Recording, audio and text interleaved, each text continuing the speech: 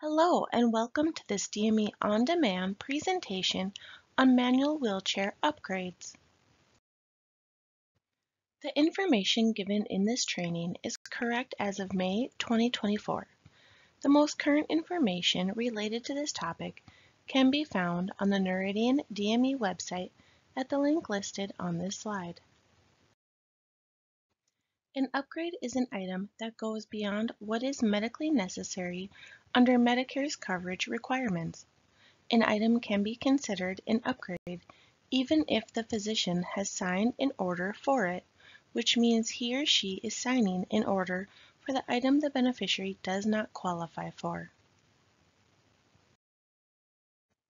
By billing appropriate modifiers, it helps automate the claim processing. Remember to add the appropriate modifier depending on the scenario. When using the GK modifier, the upgrade features are to be entered into the narrative.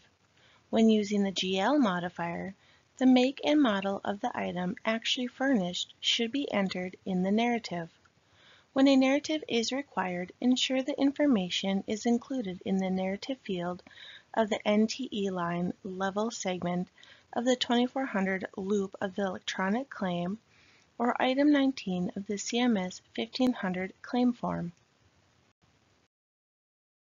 Let's look at some examples of how to build the manual wheelchair upgrades. This slide displays what is required if the physician orders the upgrade or the beneficiary requests the upgrade and the beneficiary is paying for the upgrade because they do not meet the coverage criteria requirements. The K0003 lightweight wheelchair was provided, so either the physician ordered or the beneficiary requested and the beneficiary is paying for the difference. The K0001 standard wheelchair is the chair the beneficiary meets criteria for. This is the chair that will be eligible for reimbursement. The amount in line 1 must be greater than the amount in line 2 in order for the claim to process correctly. When an advance beneficiary notice of non-coverage, also known as an ABN, is obtained, bill the HCPCS code for the item that is provided, along with all appropriate capped rental modifiers, as well as a GA modifier on the first claim line, and the HCPCS code for the item that meets coverage criteria with a GK modifier on the second claim line with all other applicable modifiers required, for example, capped rental modifiers, KX modifier when applicable.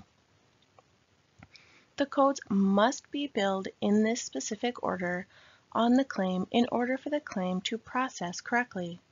In this situation, the claim line with the GA modifier will be denied as not reasonable and necessary with a patient responsibility or PR message and the claim line with the GK modifier will continue through the usual claims processing. In this common example, the physician orders the upgrade, commonly a lightweight wheelchair, but the beneficiary does not meet coverage criteria, and the supplier is providing the upgrade chair at no charge to the beneficiary. Another example of this scenario for billing the upgrade is when the upgrade is provided for supplier convenience because the supplier carries the upgrade chair as their standard stock but will not be billing the beneficiary. In either of these scenarios, there will not be a charge to the beneficiary and no ABN will be obtained. When billing, suppliers will only bill the HCPCS code for the item that meets coverage criteria with a GL modifier and any other appropriate modifiers per the manual wheelchair policy. The make and model of the item that is actually provided is not billed but is listed in the narrative of the claim. This narrative should be added to the narrative field of the NTE line level segment of the 2400 loop of the electronic claim or item 19 of the CMS 1500 claim form.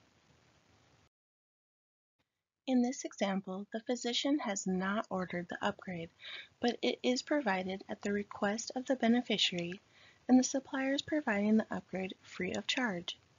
In this scenario, bill the HCPCS code for the item that is provided with a GZ modifier on one claim line and the HCPCS code for the item that meets coverage criteria with a GK modifier on the next claim line with all other applicable modifiers required.